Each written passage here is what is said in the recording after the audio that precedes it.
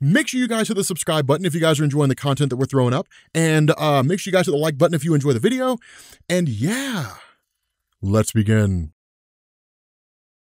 What's going on guys? This is Rob and I want to try something a little bit different. A lot of you guys have asked me to cover Mortal Kombat comics and with a trailer for the movie coming out, I figure we might as well go ahead and give it a shot. What we're going to do here is we're going to do an excerpt from the Mortal Kombat comics. We're going to do the origin of Scorpion. We're going to kind of kick things off with this and it's really more of just a test to see whether or not, you know, you guys are interested in this kind of thing. Uh, because Scorpion, I feel like is probably one of the, probably the single most popular character in all of Mortal Kombat, if I'm being honest with you guys. I mean, Liu Kang I think is a close second, but when anybody is ever talking talking about Mortal Kombat, when they think of the game, the first person they think of is usually Scorpion. Sometimes Shang Tsung, sometimes Sub-Zero, right? But it, it really just kind of depends. So what we end up having here in this, this bit of a segment, and again, this is going to be a pretty short video, what we end up having here is basically a kind of conversation taking place in the Himalayas between Hanzo Hasashi, who is, which is his real name, but you guys know him as Scorpion, and Takeda. Now, I could be wrong. Maybe it's pronounced something like Takeda. I'm not 100% sure, but Takeda sounds like it's the correct pronunciation. But Takeda is basically the ward of Hanzo Hasashi, not really his son uh, not his biological son. Uh, he actually, the, the father of Takeda is a, a, main character in the story. And depending on whether or not you guys are interested, we'll cover it from beginning to end because it's not super lengthy. It's not, a, it's not a super lengthy Mortal Kombat comic book series. It's like 36 issues. But the conversation starts going in the direction of an ability that Takeda had seen Hanzo use or seen Scorpion use, which was the ability to control Hellfire. And initially, Takeda thinks it's like a style of martial art, right? It just takes time and mastery to be able to pull it off. But the reality is, is Hanzo basically tells him it's not a style, right? It's, it's not some kind of a style he mastered over time, that is actually his curse. And so this is when we jump into the origin of Scorpion. Now, one thing to understand, the origin as it's given to us here is by no means an exceedingly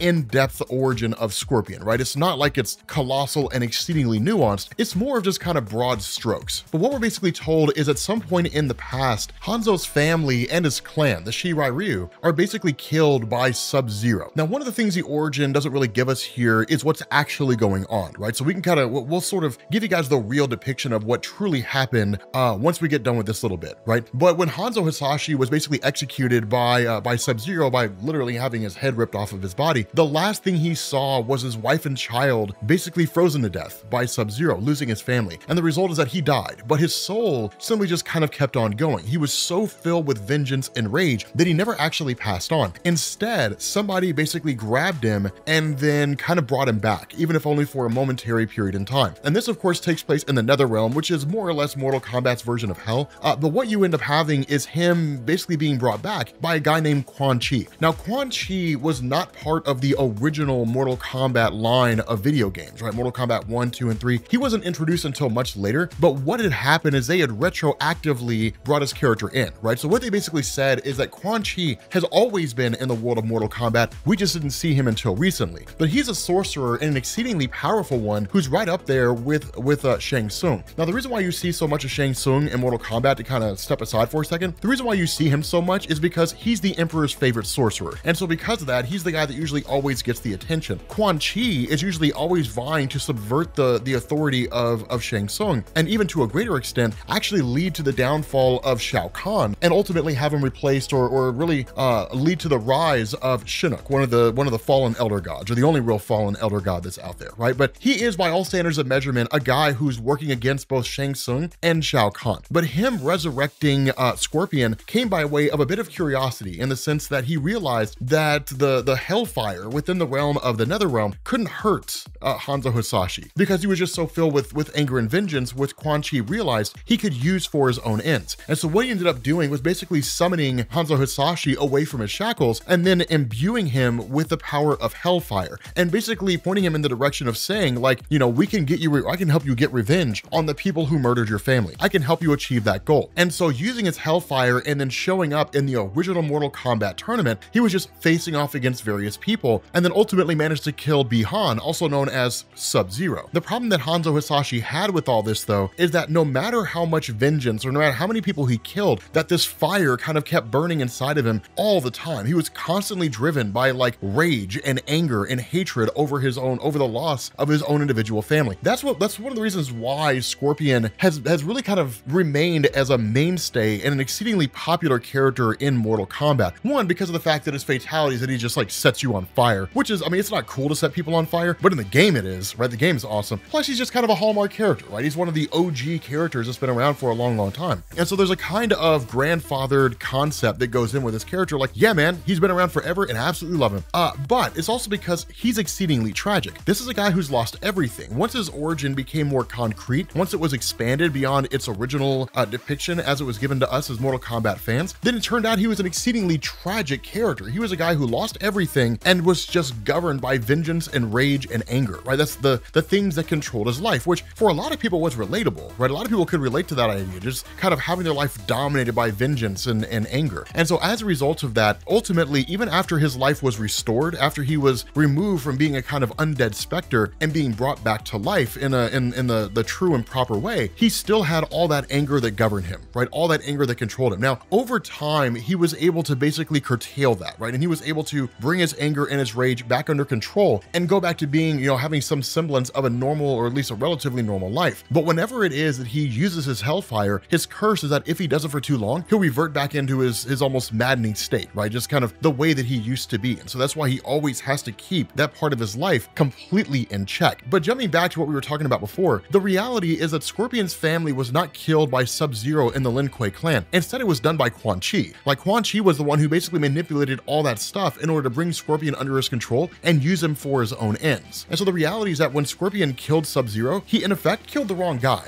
And that's one of the things that he kind of came to realize over time. Now, of course, it never really changed. It's not like he was like, oh, you know, and made made you know amends or anything. At least not that I'm aware of. Uh, but that's kind of the nature of, of Scorpion's origin. Right? That's the the nature of the character that we know. He's a guy that lost everything only to find out that he was tricked into believing it was the wrong man and then killed the wrong man. And then in turn, when he was brought back by Quan Chi, who was the one that actually did it, he was in the service of Quan Chi until he was ultimately freed. And now he's been trying to live some measure of a normal life ever since, right? I mean, when I say normal, I mean normal within the realm of Mortal Kombat and the character of Scorpion, right? So, you know, fighting and killing people, that kind of a thing.